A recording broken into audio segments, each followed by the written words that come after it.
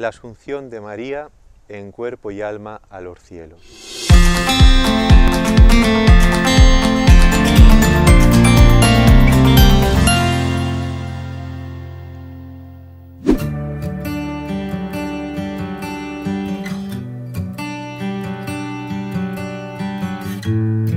Bienvenidos a una edición más de este programa católico o protestante. Hoy vamos a ver la asunción de María en cuerpo y alma a los cielos. Al no tener ningún pecado y al no estar sujeta a la corrupción del sepulcro, María fue elevada al cielo en cuerpo y alma, al terminar su paso por este mundo.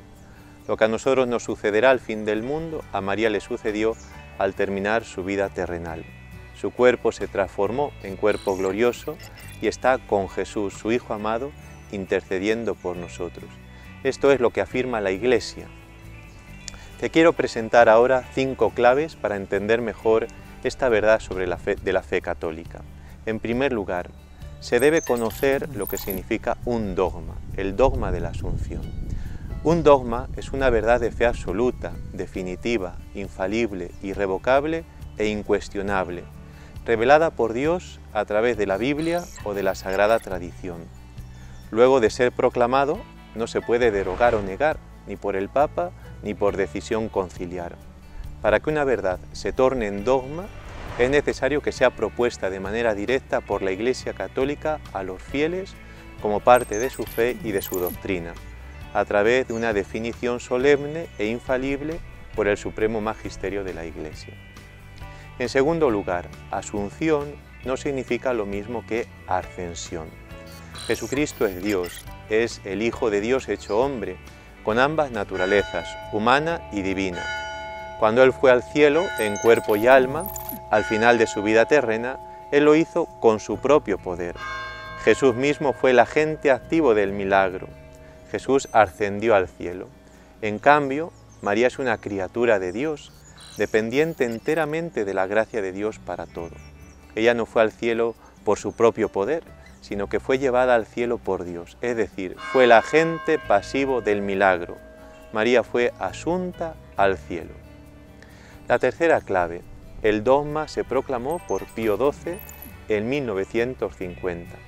Fue el Papa Pío XII que el 1 de noviembre de 1950 publica la Constitución Apostólica Munificentissimus Deus que proclama el dogma con estas palabras con la autoridad de nuestro Señor Jesucristo, de los bienaventurados apóstoles Pedro y Pablo, y con la nuestra, pronunciamos, declaramos y definimos ser dogma divinamente revelado que la Inmaculada Madre de Dios, siempre Virgen María, terminado el curso de su vida terrena, fue asunta en cuerpo y alma a la gloria celestial.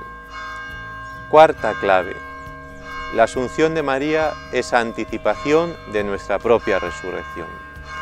El Catecismo de la Iglesia Católica dice en el numeral 966, la asunción de la Santísima Virgen constituye una participación singular en la resurrección de su Hijo y una anticipación de la resurrección de los demás cristianos.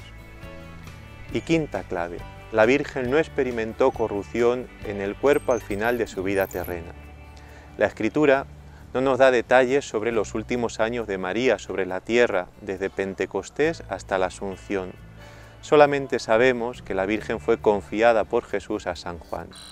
Al declarar el dogma de la Asunción de María, Pío XII no quiso derimir si la Virgen murió y resucitó enseguida o si marchó directamente al cielo. Muchos teólogos piensan que la Virgen murió para asemejarse más a Jesús, pero otros sostienen ocurrió el tránsito de María o dormición que se celebra en Oriente desde los primeros siglos. En lo que ambas posiciones coinciden es que la Virgen María, por un privilegio especial de Dios, no experimentó la corrupción de su cuerpo y fue asunta al cielo, donde reina viva y gloriosa junto a Jesús intercediendo por nosotros.